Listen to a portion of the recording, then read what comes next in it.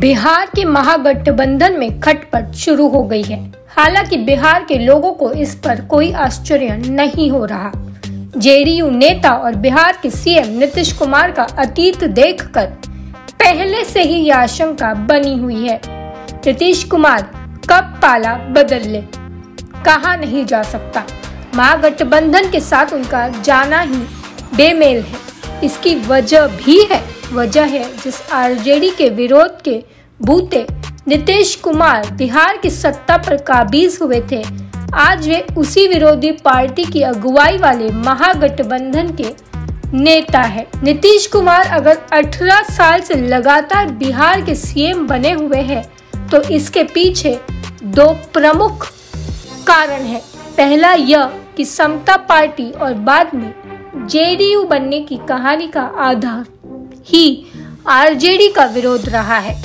लालू राज को जंगल राज बताकर ही नीतीश ने लालू राबड़ी राज को उखाड़ फेंकने में कामयाबी हासिल की थी। दूसरा, नीतीश कुमार का जातीय आधार लव कुश समीकरण वाले वोटर रहे हैं। इसमें सर्वाधिक संख्या कुश यानी कुशवाहा वोटरों की रही है।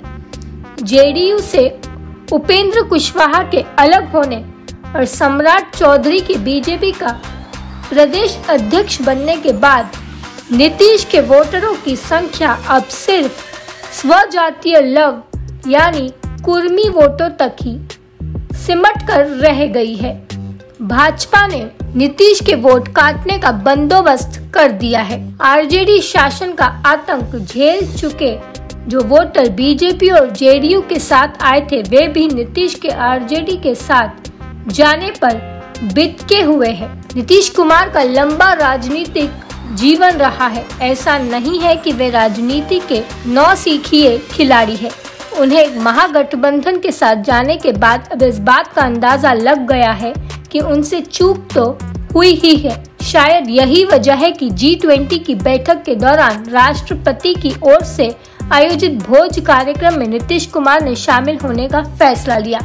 भोज कार्यक्रम में पीएम नरेंद्र मोदी और नीतीश कुमार की जैसी तस्वीरें सामने आई, उसे देखकर किसी को भी सहज भरोसा हो जाएगा कि जेडीयू और बीजेपी में भीतरी स्तर पर कोई खिचड़ी पक रही है। नीतीश कुमार की ओर से ऐसी तस्वीरों या भोज में शामिल होने के बारे में कोई टिप्पणी सामने नहीं आई।